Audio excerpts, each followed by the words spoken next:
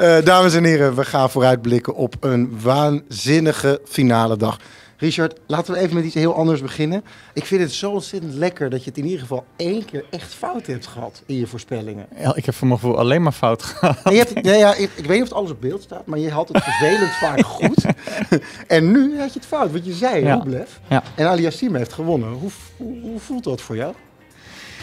Eh, ja, eh, ja, zelfs een stilstaande klok. Nee, wacht even, dat, dat, die heeft het goed juist. Nee, maar in ieder geval, nee, ja, je kan het af en toe fout hebben. Maar eh, ja, eigenlijk was, was Aliassim de hele wedstrijd beter.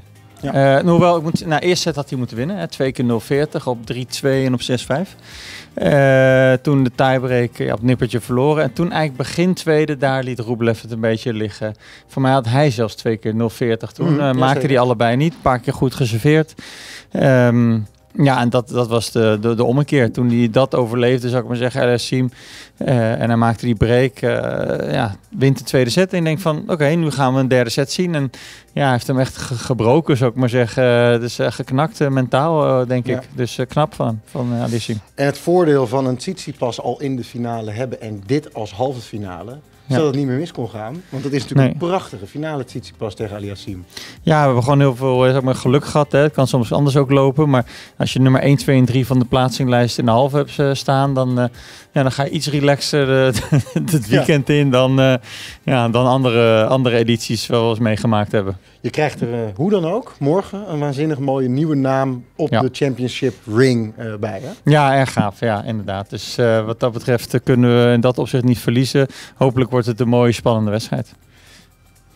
Ja, ik ga nou- niks voorspellen. Zeg nou even wat. Eh, Aliassim wint, hartstikke goed ja, gezegd. Nee, dat is, eh, nee, ik daar- geef eh, toch 51% aan, eh aan Tsitsipas. En dan is alleen maar voor het feit dat eh Alissim nog nooit een finale heeft gewonnen. Nee, het wordt zijn negende finale. Hè? De tweede. Tiende, denk ik. Negende. Oh, negende. Oké. Ja. Ik heb mijn huiswerk gedaan. Jij nog? Oké, nou ja, dat gaan we morgen even kijken. Of, ik ben bijna zeker dat die 0 en 9... Nee, Ehm, ik wil kijk even op die, op die, eh, op die eh, iPhone van jou. iPhone van eh, mij, dat die- ding wat je daar op straat een, hebt Ik krijg trouwens een nieuwe iPhone van Ja. Richard, want de mijne die doet het niet Ja, ik kan Dus er niet tegen. Heerlijke bonus van het jaar. Kan niet op. We moeten het over nog iets heel anders hebben. Wat misschien nog wel net zo leuk gaat worden. En dat is de dubbel. Ja. De, de ene helft is al vol oranje. Ja. De tweede wedstrijd wordt hier gespeeld. Het kan een en al Nederlandse finale worden. Eh, nou ja, bijna 75 Hè. Maar inderdaad, eh kunnen inderdaad eh ja, Haas en Middelkoop staan aan de finale. Wat heel leuk is voor allebei. En zeker voor Robin Haase. Die eh, ehm, ja, een beetje op de dubbel staat ze rond de 60. Moeilijk voor hem om, om toernooien binnen te komen. De grotere toernooien. Ja, en als hij hier kan winnen, dan gaat hij toch richting de top 50 weer. En, en natuurlijk, ja, Wesley Koolhof speelt met Skupski nu. Uh, Koolhof staat nu 20ste, maar hij heeft ooit top 5 gestaan. Ehm, ja, voor mij heeft hij de World Tour Finals nou gewonnen. Of in ieder geval heel ver gekomen daar. Dus eh, gewoon een, een, dubbelaar van eh, ja, eh, we- wereldformaat zou ik maar zeggen. Al de laatste paar jaar. Dus ja, het belooft mooie finale te worden. Ook de dubbel weer. En ja, kans groot dat de Nederlander, of in ieder geval gedeeltelijk Nederlander met, Ja. met trofeeën vandoor gaat.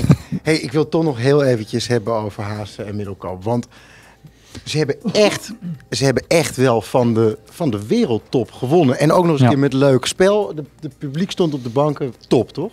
Ja, fantastisch. Ja, het begon, zou ik maar zeggen, slecht dit toernooi. Want ik heb eh, eh, dit keer alle lotingen gedaan. Dan haal ik in ieder geval, maar ik was heel kom snel. Dus ik lood Haas in de kwalificatiesingle. Eerste ronde tegen de eerste geplaatste. Ja. En een dag later doe ik de doe ik hoofdtoernooi dubbel. Lood ik hem tegen de eerste geplaatste dubbel. En ik oeh.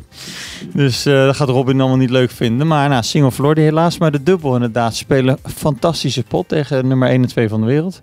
En, ehm, en eh, ja, gisteren eh, was ook goed. maar vandaag tegen die Mahout, dat is gewoon echt een ongelooflijk goede dubbelaar. Ja. En het was echt goed spel. En echt knap dat ze, ja, dat ze die wedstrijd weten te winnen. Dus een hele goede Champions tiebreak gespeeld. En eh, ja, publiek, eh, niet normaal is eh, Echt Ja. heel erg leuk. ja, meeleefde. Echt fantastisch. Alsof ze het er bijna aan doen, hè? Die Champions League finale. Of die, eh, die Champions League finale, Ja. die, die, die, die tiebreak. Ja, Champions tiebreak. Die Ja. Champions tiebreak. Super tiebreak, Super whatever. ja, tiebreak, ik weet ook niet hoe je het noemt. Maar in ieder geval, dat ding tot de Dat tien. ding tot- Ja. Precies die. Ehm, morgen heerlijke dag. Ja, Toch? Ja, ik kijk er ongelooflijk Ik naar. ook. Begin eerst met de dubbel.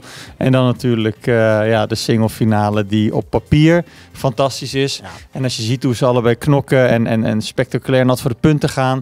Denk ik ook een hele gaaf finale gaat worden. Dames en heren, maak uw borst maar nat voor de finale dag van het ABN AMRO World Tennis Tournament. Wij hebben er zin in. Tot morgen.